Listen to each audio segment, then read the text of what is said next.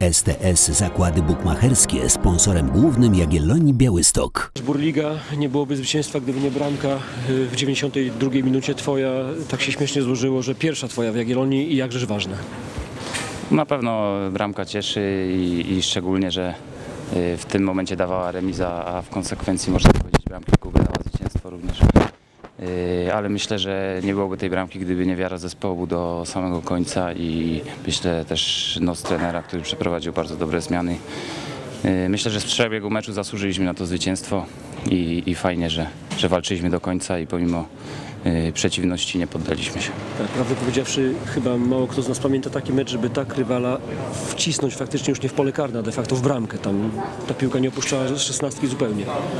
No tak, byliśmy zdeterminowani. Wiadomo, że ten mecz y, na Lechu nam nie wyszedł. Y, Chcieliśmy tutaj zagrać y, wysoko, y, dużo utrzymywać się przy piłce. Myślę, że to wszystko udawało się. No takie można powiedzieć y, głupie bramki, gdzieś tam przypadkowa strata, ta na 2-1. Myślę szczególnie ta bramka szkoda. No ale dzięki temu była dramaturgia i, i fajne zwycięstwo. Łukasz, twoja dzisiejsza bramka to chyba najlepsza odpowiedź na dziennikarzy, które się pojawiły między na tych flag zaangażowane szczególnie po wyśmiewczej akcji z Lechem.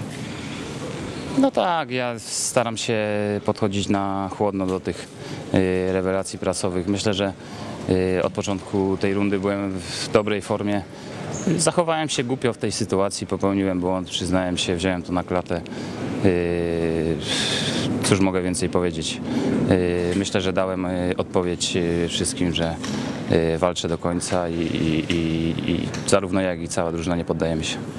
STS Zakłady Bukmacherskie sponsorem głównym Jagiellonii Białystok.